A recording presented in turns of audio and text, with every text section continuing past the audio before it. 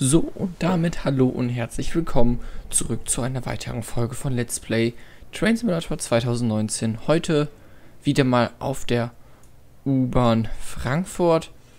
Und wir stehen hier gerade am Zoo und fahren heute, ich muss gerade mal nachschauen, die U6 mit dem U3-Typ, also dem älteren. Das können wir dann gleich auch mal zeigen. Jetzt müssen wir gerade aber mal den Wagen erst abfahrbereit machen. Den Schlüssel haben wir schon.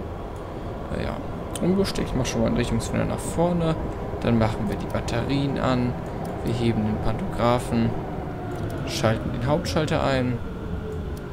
Machen mal ein Fernlicht und öffnen gerade mal links die Türen. So.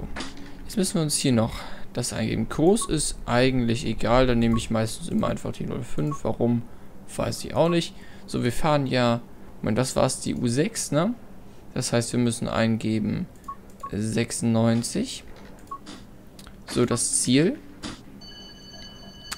Ähm, wir fahren vom Ostbahnhof. Moment, jetzt muss ich gerade einmal schauen. Irgendwo hier stehen doch... Ah ja, da müssen wir gerade mal die Kamera wechseln. Wir fahren vom Ostbahnhof. Ähm, ba, ba, ba, bam. Bin gerade blind. Der Ostbahnhof ist 721. Das heißt, wir fahren von 721. Ne, wir fahren zum Ostbahnhof, oder? Ah, ne, wir stehen, wir stehen gerade am Ostbahnhof und fahren jetzt nächste Haltestelle. Das ist erst so. So hatte ich mich gerade vertan. Vom Ostbahnhof fahren wir nach Braunheim-Heerstraße. Braunheim-Heerstraße ist 720. Oh, das war falsche Kamera. Hier sieht man übrigens nochmal ähm, ja, das Innenleben. Ich weiß nicht, inwiefern das ähm, realistisch ist. Ich denke aber mal schon, es sieht sehr realistisch aus, aber wie gesagt, ich wohne nicht in Frankfurt, ich kenne mich da nicht so genau aus. So, dann müssen wir jetzt hier noch eingeben 7, 2, 0. Dann ist es auch fertig. So, die Türen sind ja schon geschlossen und ich würde sagen, dann fahren wir mal ab. So, ich hoffe, dass diesmal der Sound ein bisschen besser passt. Ich weiß, dass der im letzten Video ähm, etwas zu laut war, meiner Meinung. Äh, man hat mich da sehr schwer verstanden und ich denke, das wird jetzt etwas besser sein. Wie gesagt, wir fahren heute auch ähm, den älteren Wagen. Muss ich hier gerade mal gucken. Das ist hier gerade so düster, jetzt sehe ich gerade gar nicht, wo die Ansagen sind. Moment. Wo können wir noch hier Licht anmachen? Ah, hier war's. So, dann müssen wir hier drücken, ne? Nächste Station Zoo. Umsteigemöglichkeit zur U-Bahn-Linie U7 sowie zur Straßenbahnlinie 14. Ausstieg in Fahrtrichtung links. Bitte achten Sie auf die Stufe zwischen dem Zug und dem Bahnsteig. Please mind the step between the train and the platform. Ja, ich finde ja auf jeden Fall diese Ansagen wirklich schön. Ähm, sobald wir mal jetzt oberirdisch fahren, zeige ich euch dann auch mal den Zug von außen.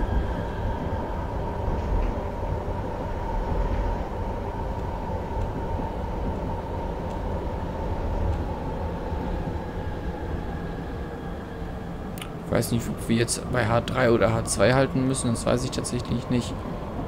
Ähm, ich weiß nur, dass wir definitiv kein Vollzug sind, also nicht H4. Ich denke, eigentlich müssten wir H2 sein. Wir haben ja, glaube ich, ich kann ich ja jetzt hier schon mal den Zug zeigen. Da ist es das ist halt ein älteres Modell. Wir haben auf jeden Fall richtig geschildert. Da steht es ja. Ähm, letztes Mal sind wir ja ein recht, ein recht neues Modell gefahren. Und hier haben wir sogar die noch ältere Version in Orange. Und ich denke, wir dürften bei H2 halten, weil wir halt zwei Wagen haben. Steigen wir mal wieder ein. So. Dann können wir eigentlich auch schon direkt wieder weiterfahren. Ja. Ähm, das Video dient als kleiner Ersatz für den Livestream heute am Freitag. Normalerweise streame ich ja freitags immer. Letzte Woche habe ich gestreamt, das hatte ich auch angekündigt, ähm, weil da unsere Abi-Zeugnisvergabe war. Ähm, deswegen konnte ich da nicht. So, dann war recht viel los, haben wir gefeiert und dann ähm, bin ich jetzt nicht so nicht zum Aufnehmen, Aufnehmen gekommen. Ich war die Woche auch recht beschäftigt.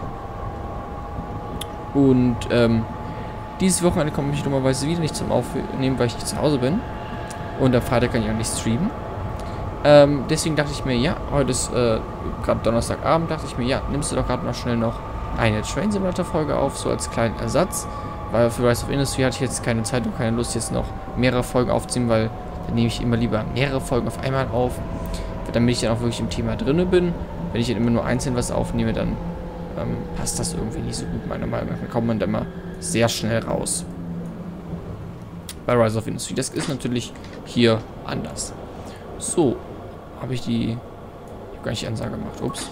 Nächste Station, Konstablerwache, Zeil. Das finde ich übrigens hier besonders schön, dass hier wirklich die ähm, richtige S-Bahn animiert ist und hier wirklich langfährt mit Sound und allem. Das ist wirklich gut gemacht. Wir lassen gerade nochmal die Ansage durchspielen. Ausstieg in Fahrtrichtung links. So, sehr schnell ausgestiegen. Sie auf die Stufe Ansage geht weiter. Zug und dem Bahnsteig. Please mind the step between the train and the platform. So, jetzt können wir weiter. Jetzt mache ich direkt die Ansage, sonst vergesse ich es wieder. Hauptwache Zeil.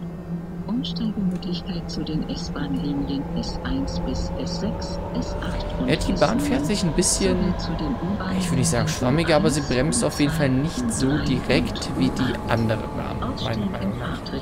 Ist ja auch klar, die ist ja was älter. Ähm, da hat man hier auch nicht diesen Kombi-Hebel wie bei der alten Bahn. Wo doch hat man, ne?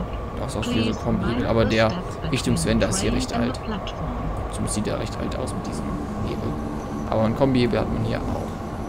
Das ist natürlich ein anderes, na, ich nenne es mal, ich weiß nicht, es genau, Anordnung der, der, der Elemente hier ist natürlich, die ist natürlich anders. Ähm, weil wir uns hier natürlich in einem anderen Wagen befinden. So, ich fahre noch vor bis zu H2. So.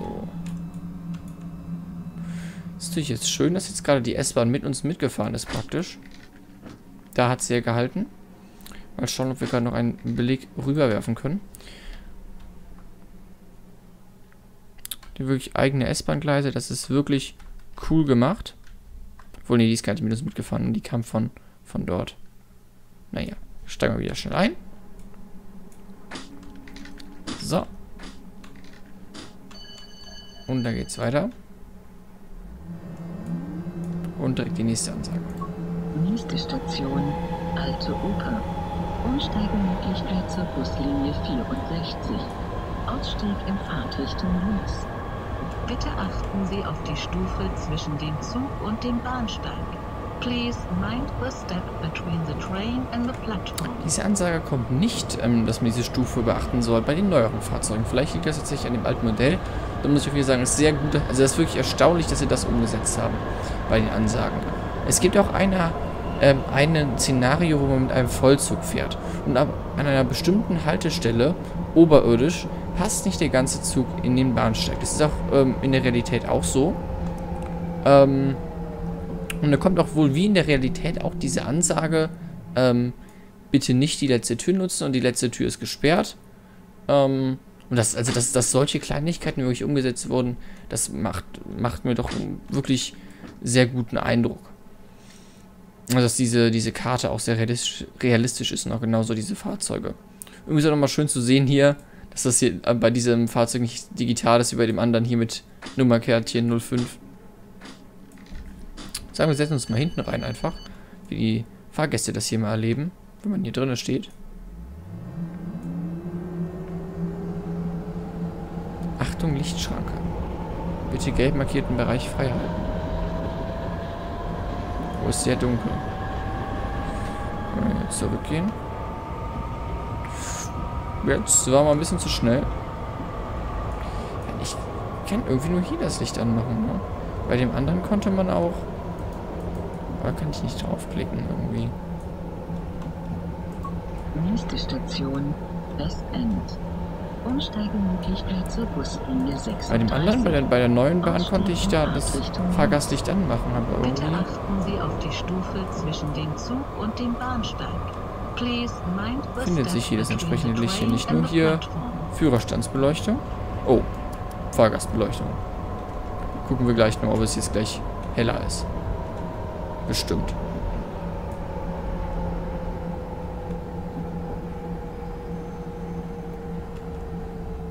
So. Da sind wir angekommen. So. Ja, jetzt ist hier auch das Licht an. Naja, gut. Haben nur, war nur zu dumm, den entsprechenden Knopf zu finden. Vandalismus geht uns alle an. Bis zu 500 Euro Belohnung. Fahrerraum. Bitte Schwenkbereich. Oh, da haben sie aber. Bitte Schwankbereich der Tür frei halten. Naja. So. Jetzt sitzen wir hier.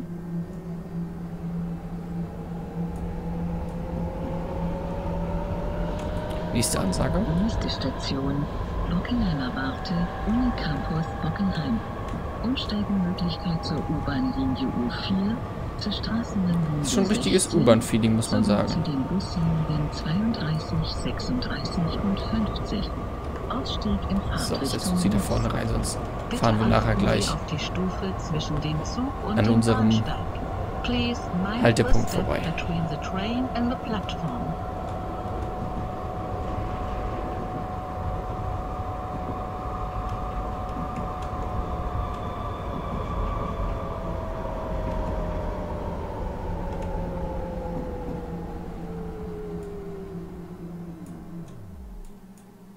So. Und einmal die Türen freigeben.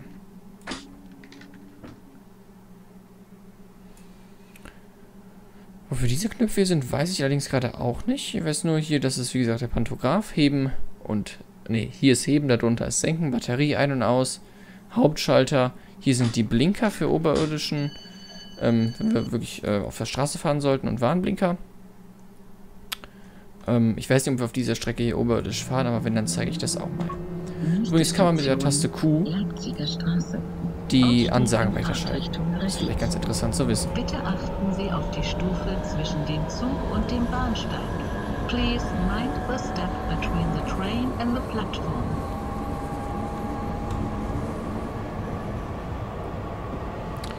Ja.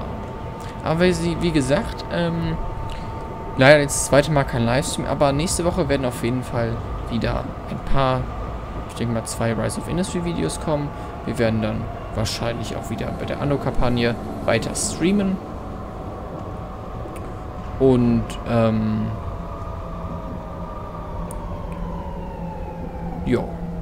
Ich habe auch bald mal wieder vor, so eine Art, naja, ich nenne es einfach mal PvP-Profi-Video zu machen.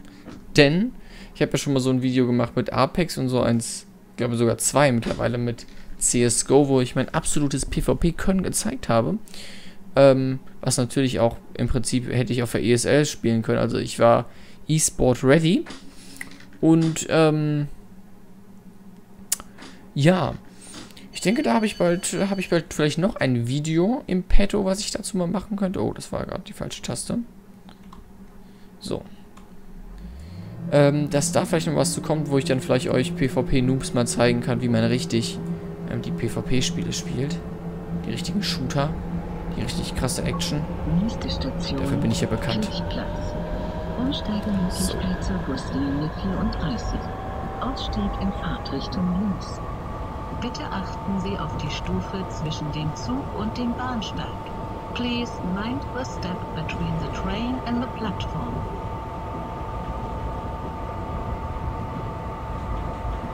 Kirchplatz. Nee, nicht Kirsch, sondern Kirchplatz. Habe ich auch irgendwie immer Schwierigkeiten, das richtig auszusprechen. Ich weiß nicht, ob das einfach am Rheinischen liegt, dass man mal Kirsch sagt, aber ist ja schon ein Unterschied zwischen einer Kirche und einer Kirsche.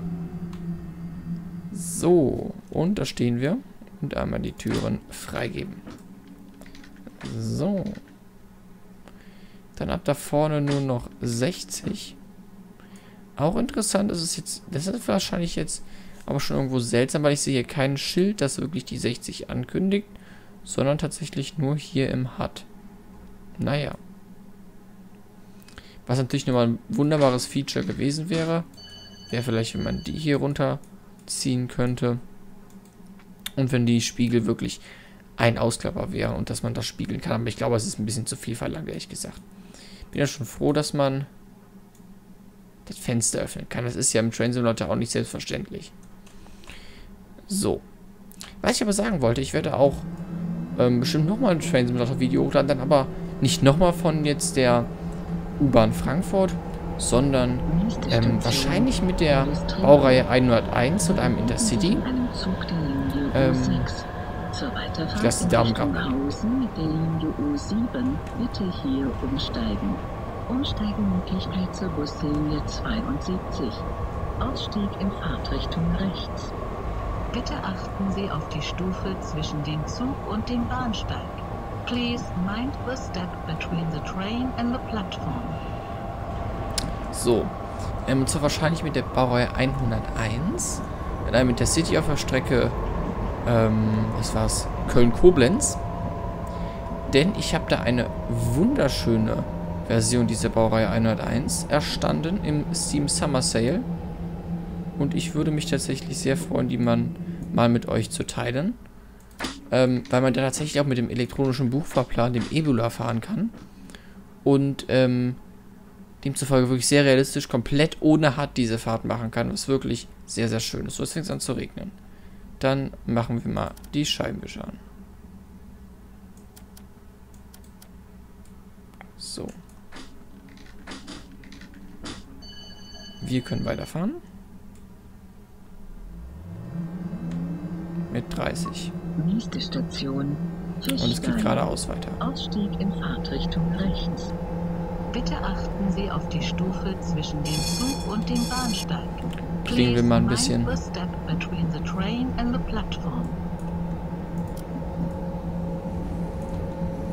Fernlicht habe ich auch mal wieder ausgemacht.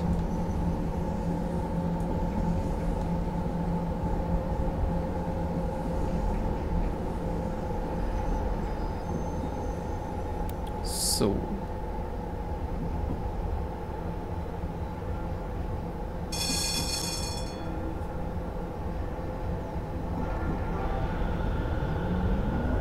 Regnet aber doch jetzt ganz schön dolle.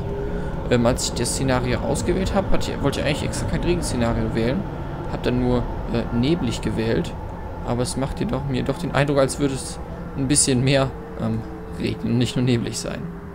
So. Hat man gerade wieder gesehen, wie das Signal da vorne umgesprungen ist. Es springt hier immer automatisch um, wenn man sich ähm, dem, diesem Signal nähert. So. Das ist ja Fahrt und waagerecht oben ist halt Halt. Ist halt Halt. Auch toll, ne?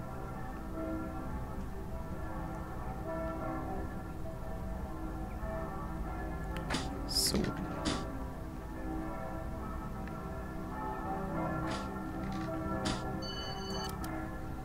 Und es geht weiter. Nächste Station, Hausener Weg. Umsteigemöglichkeit zur Buslinie 34. Ausstieg in Fahrtrichtung rechts. Bitte achten Sie auf die Stufe zwischen dem Zug und dem Bahnsteig. Please mind the step between the train and the platform. So, am nächsten Bahnhof würde ich sagen, schauen wir uns nochmal den Zug ganz genau an. Will ich ja einen Screenshot machen.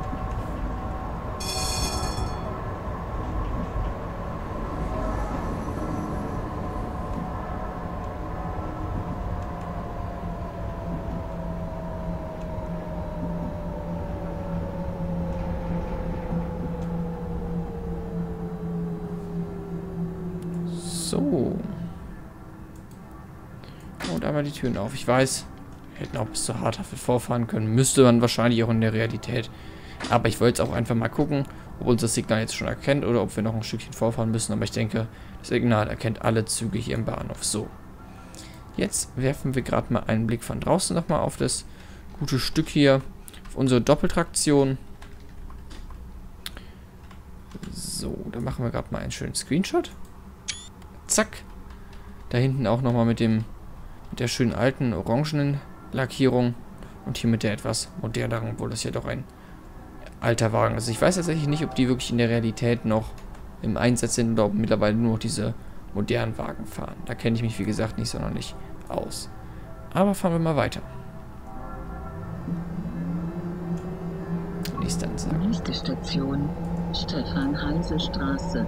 Ausstieg in Fahrtrichtung rechts. Bitte achten Sie auf die Stufe zwischen dem Zug und dem Bahnsteig. Please mind the step between the train and the platform. Ich mich aber nochmal etwas anders hier hinsetzen bei der ganzen Fahrt. Ich glaube, ach, ich werde auch die ganze Zeit nass hier, ne? Jetzt merke ich es erst. Ich habe die ganze Zeit Fenster auf. Das mache ich mir gerade schnell wieder zu. Schon ganz nassen Arm. Kann ja nicht gut sein.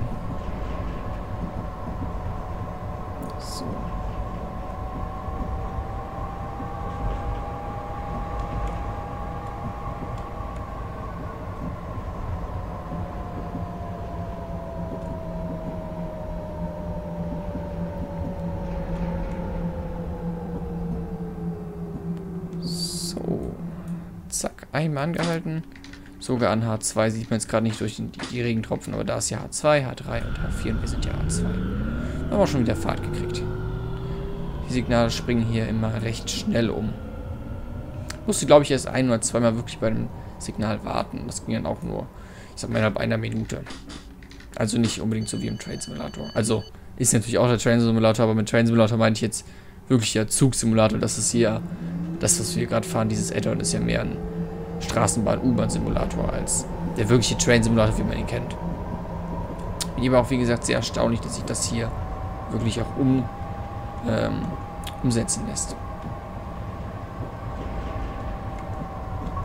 Nächste Station, Friedhof Westhausen. Sind wir gleich schon am Ende angekommen. Ausstieg in Fahrtrichtung rechts. Bitte achten Sie auf die Stufe zwischen dem Zug und dem Bahnsteig. Please mind the step So. between the train and the platform. Zack.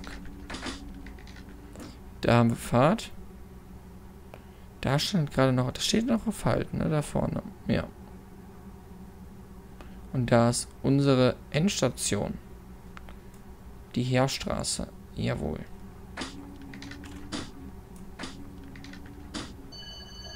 Nächste Station, Heerstraße. Fahrtende, bitte aussteigen. Umsteigemöglichkeit zur Buslinie 60. Bitte achten Sie auf die Stufe zwischen dem Zug und dem Bahnsteig. Please mind the step between the train and the platform.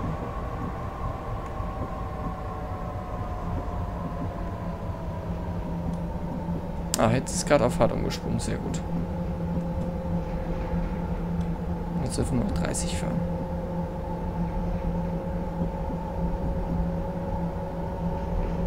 So, und dann war es ja auch schon wieder von dieser heutigen Fahrt. Oh, ich war ein bisschen zu schnell.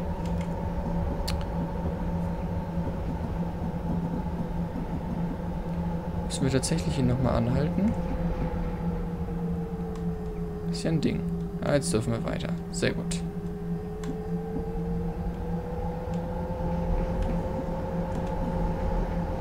So. Dann sind wir angekommen an der Peter-Ehr-Straße.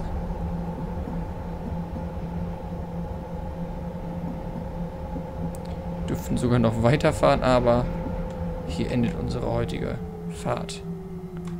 So. Zack. Türen auf. Ich schaue nochmal hier rein. Das ist in der Tat die letzte Haltestelle. Ich hoffe, es hat euch gefallen. Und dann würde ich euch gerne beim weiteren Video wiedersehen. Vielleicht bei Rise of Industry, bei einem Livestream, der meistens, wie gesagt, freitags stattfindet. Ähm, vielleicht bei noch einem krassen PvP-Shooter-Action-Folge. Oder auch bei einem Train Simulator. Vielleicht nochmal hier auf der U-Bahn Frankfurt, dann nochmal auf einer anderen Linie. Oder aber auch, ähm, wie gesagt, mit der Baureihe 101, was ich gerade gesagt hatte. Entschuldigt, wie gesagt, dass ich hier zwei Wochen hintereinander nicht streamen konnte. Ich wünsche euch ein wunderschönes Wochenende, eine wunderschöne, ähm, einen wunderschönen Tag.